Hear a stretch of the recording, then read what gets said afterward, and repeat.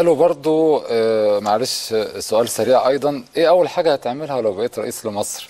وهل تستطيع التعامل مع برلمان فيه الأغلبية من التيار الإسلامي؟ يعني أنا. إطار إسلامي ما هواش البعبع. إطار إسلامي نأمل إنه يكون إطار إسلامي المعتدل اللي تمام. نستطيع ن- كلنا إن نعيش معاه.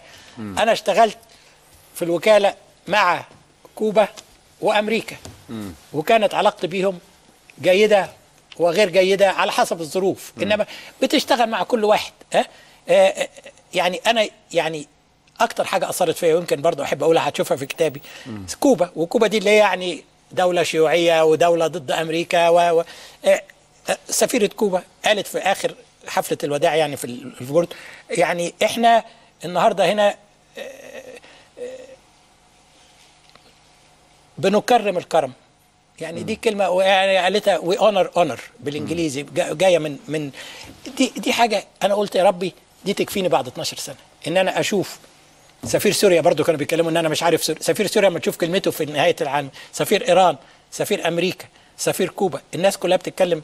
قلت إن أنا قدرت أشتغل مع كل الناس دي واشتغلت اختلفت مع كل الناس دي واتفقت معاهم إنها في حاجة فضلت بس إنهم عارفين إن أنا صادق وبقول الحق ومحايد لأن دي كانت وظيفتي في هذا الوقت.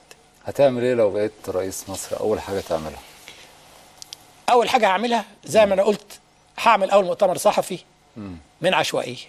يمكن اسطبل عنتر أول عشوائية رحتها. عشان. است... اسطبل عنتر. لأن هقول أدي يا اخوانا البلد اللي أنا, اللي أنا واخدها وأدي يا اخوانا اللي أنا عاوز أعمله وأهم حاجة يكون لك مصداقية وشفافية. مش هقول له إن أنا هقلب لك البحر طحينة بعد خمس دقائق ولا خمس أيام. هقول له أدي مواردنا وأدي خطتنا ومش هشتغل لوحدي. هشتغل هقول له أدي الناس اللي هتشتغل معايا ولازم تكون لها, لها مصداقية. وهقول له كل الشفافية. أنا رأيي لو قلت الشعب المصري كنت شفاف معاه وصادق وكنت قدوة له الشعب المصري صبور صبر كتير. وهيصبر لو عرف إن أنت قلبك عليه وبتخاف ربنا. سيبك بقى من كل الكلام التاني اللي يقول لك برامج وكل الكلام ده مظبوط. إنما في الآخر المصداقية والرؤية والشفافية وإن يحس إنك راجل عندك ضمير وبتخاف ربنا ايا كان هذا الشخص. في كلمتين كده تقول إيه للمشير طنطاوي؟ أقول للمشير طنطاوي إيه أنتوا حميت الثورة حسنوا صلحوا المسار المسار مش مظبوط النهارده اتشاركوا مع المدنيين نود أن نراكم في النهاية ونحن بنضرب لكم تعظيم سلام إن أنتوا مشيتوا مصر على الطريق الصحيح. اسمعونا كلنا بلاد أهل أهل مصر وبنحب مصر.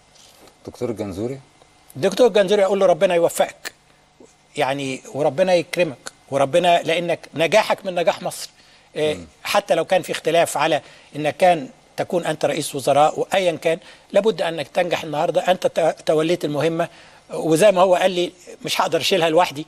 إيه، صحيح مش هيقدر يشيلها لوحدي. لازم كلنا نساعده يشيل المهمة. اللواء محمد إبراهيم يوسف وزير الداخلية. أنا الحقيقة ما أعرفوش إنما أنا أقول إن الداخلية زي ما قلت ما هي الشخص. الداخلية مؤسسة. الداخلية لازم تنكسر تتهد وتتبني.